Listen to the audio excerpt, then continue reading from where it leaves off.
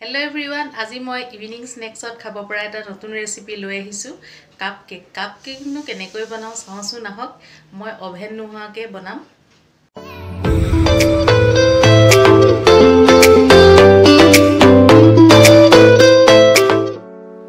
Cup cake বনাবলৈ মই লৈছোঁ ময়দা পিচি baking powder baking soda cocoa powder আৰু কৰ্ণফ্ল'ৰ আৰু পিচি লোৱা চেনি।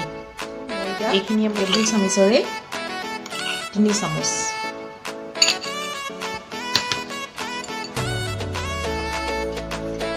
চেনিও ডাঙৰ টেবুল চামুচখনে দুচামুচ চামুচতকৈ অলপ বেছি দিছোঁ।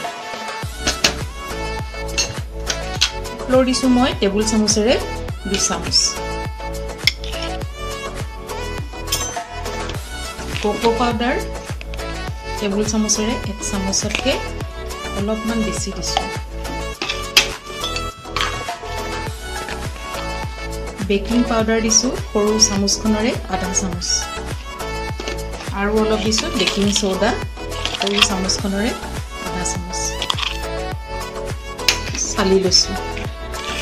মোৰ চলা হৈ গৈছে এতিয়া সকলোখিনি বস্তু মই অলপ মিলাই লৈছোঁ। কোকো পাউডাৰখিনি ধুনীয়াকৈ মিলি গৈছে। মই টেবুল চামুচেৰে এচামুচ ৰিফাইন তেল লৈছোঁ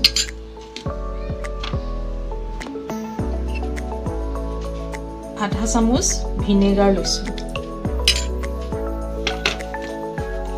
আৰু টেবুল চামুচখনে তিনি চামুচ গাখীৰ লৈছোঁ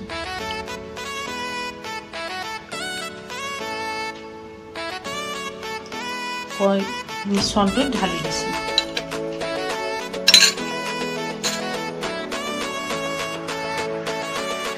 মোৰ চব মিশ্ৰণটো মিলোৱা হৈ গৈছে। যদি অলপ ডাঠ দেখে আপোনালোকে তাত অলপ গাখীৰ দি ল'ব।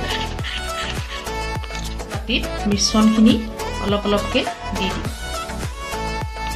মিশ্ৰণখিনি দি দি দিম।